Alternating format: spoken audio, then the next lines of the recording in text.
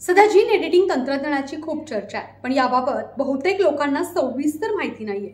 Gene editing असं तंत्रज्ञान आहे ज्यामध्ये नैसर्गिक रचनांमध्ये बदल केला जाऊ शकतो.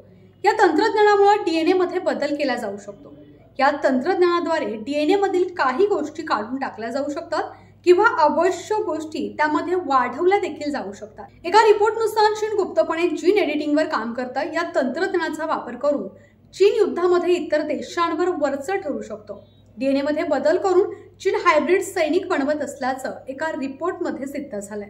काय आहे जीन एडिटिंग? जाणून घेऊया जीन एडिटिंग म्हणजे मानवी गुणसूत्रांमधील बदल.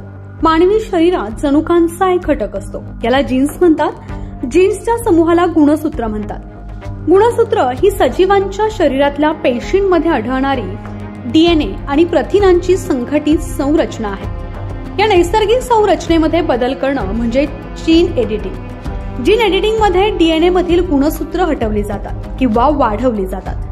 तुम्ही जर बॉलिवूडचा क्रिस थ्री चित्रपट पाहिला असेल तर जीन एडिटिंग तंत्रज्ञान कशा प्रकारे काम करतं याचा तुम्हाला अंदाज येईल या चित्रपटामध्ये जीन एडिटिंग तंत्रज्ञानाचा उल्लेख आहे. या चित्रपटात तुम्ही पाहिलं असेल माणूस आणि प्राण्यांचे डीएनए एकत्र करून मानव आणि प्राण्यांचं मिळून अशी हायब्रिड प्रजाती मानवीर तयार करतात.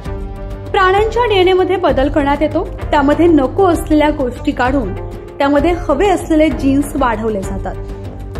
जीन एडिटिंग तंत्रज्ञानही काहीस अशाच प्रकारे काम करतं.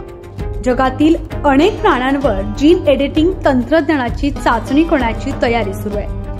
गरज असेल तेव्हा या तंत्रज्ञानाद्वारे तयार करण्यात आलेल्या प्रजाती वापरल्या जातील. जीन एडिटिंग तंत्रज्ञानाचा वापर केवळ प्राण्यांवरच नाही तर वनस्पतींवरही करून नवीन हायब्रिड म्हणजेच संकरित प्रजाती निर्माण करण्याचा प्रयत्न सुरू आहे. चीन आपल्या सैनिकांवर जीन एडिटिंग करत आहे. सैनिकांना याबद्दल माहिती दिलेली नाही.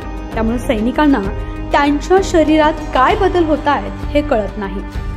डीएनए मधील बदलांमुळे सैनिकांच्या शरीरात बदल होऊन त्यानंतर चीनी सैनिक सामान्य माणसांपासून भावनाहीन रोबोटमध्ये बदलत आहेत.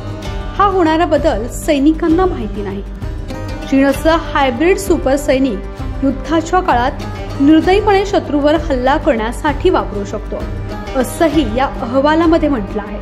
आतापर्यंत फळे भाजीपाला आणि प्राण्यांच्या निरोगी जाती तयार करण्यासाठी जीन एडिटिंगचा वापर केला जात होता. मात्र आता हे तंत्रज्ञान मानवामध्येही वापरलं जाऊ लागलं आहे